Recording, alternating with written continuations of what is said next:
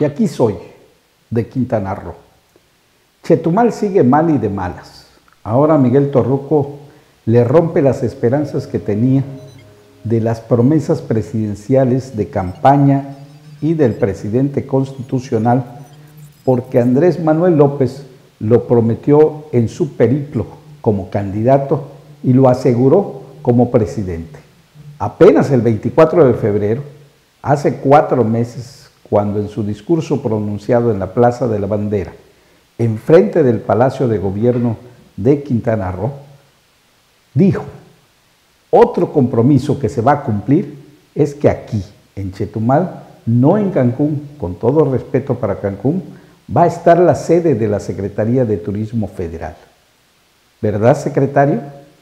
Así de clarito, sin dejar lugar a dudas.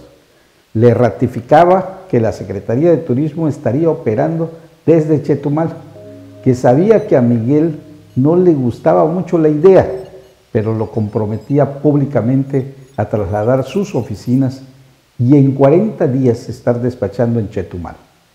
En el siguiente acto de esa gira, donde se presentó el Plan Nacional de Turismo en el Centro de Convenciones y Negocios, cuando le tocó su turno de hablar, Miguel Torruco ratificó su voluntad de instalar la Secretaría de Turismo en Chetumal, en cumplimiento con las instrucciones y para liberar de un compromiso al presidente de la República en el tiempo fijado. Llegaron unos funcionarios de confianza encabezados por el subsecretario Levy, se instalaron en un área del mismo centro de convenciones y negocios, porque la idea primaria, y que también avaló el presidente López, que serían estas oficinas en la megaescultura, no está en tiempo y forma. Diez días después, Levy renunció al cargo, aún así Ayer 25 de junio el secretario de Turismo convoca una reunión a puertas cerradas en Chetumal con los líderes empresariales turísticos y de otras ramas para dar a conocer los avances del proceso de descentralización de la dependencia federal.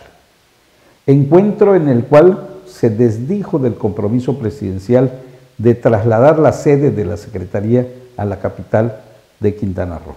Y dijo que solo se tendrá presencia aquí. Al ser cuestionado sobre el traslado de la sector a la ciudad, Torruco Márquez aclaró que no se va a trasladar a todo el personal de la dependencia federal a laborar a Chetumal y que no despachará desde esta ciudad capital, sino que solamente hará visitas frecuentes.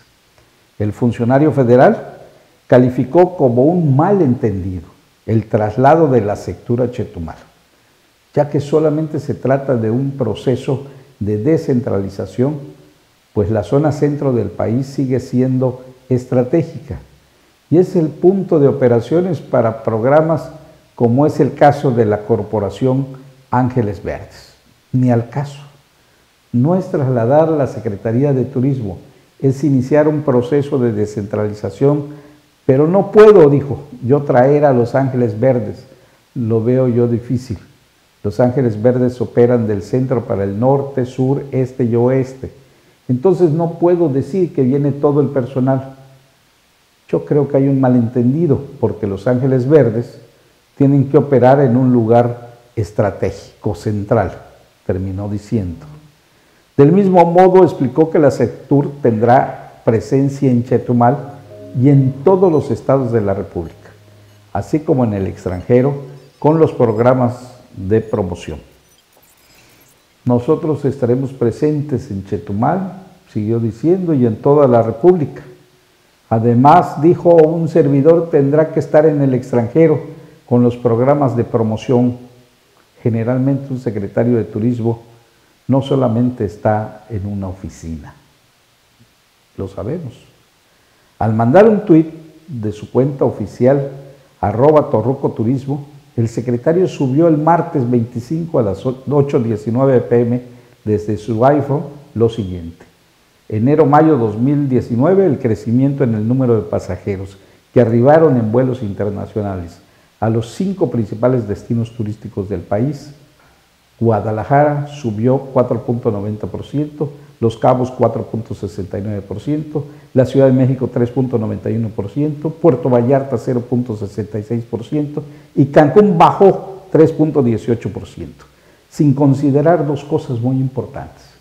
La primera es que el aeropuerto de Cancún es el líder en llegadas de extranjeros por arriba de la Ciudad de México y si desciende Cancún, aunque hayan subido los otros cuatro destinos principales que él menciona, el país está recibiendo menos turistas internacionales.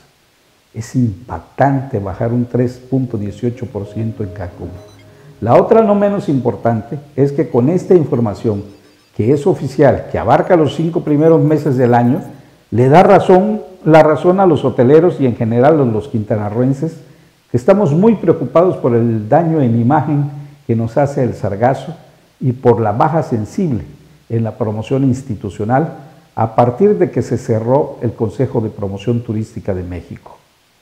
Como que no tiene la sensibilidad suficiente para notar que sus declaraciones traen daños colaterales para su jefe, el presidente de la República, y para el sector que encabeza, desafortunadamente.